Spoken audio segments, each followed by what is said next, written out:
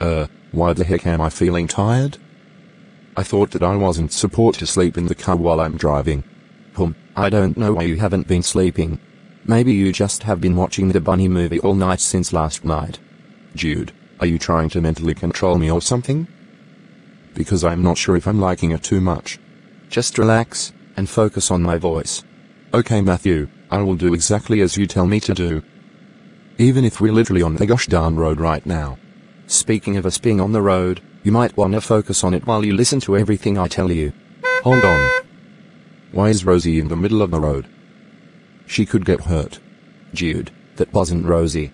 That was a butterfly, and it just flew away. Gosh darn it. Why the heck did you have to put me in so many gosh darn situations like this? It doesn't make any sense. Uh, what? What on earth just happened? Phew.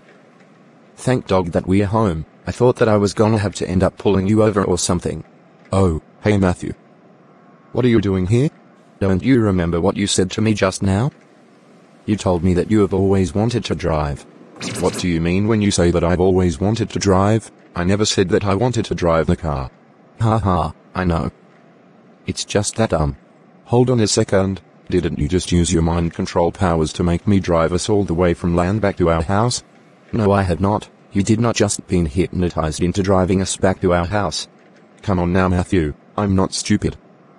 I knew that you were going to do that after I just told you that I didn't want to drive home. Okay, okay, you got me. But at least we both went out of the house. Uh, sure we did.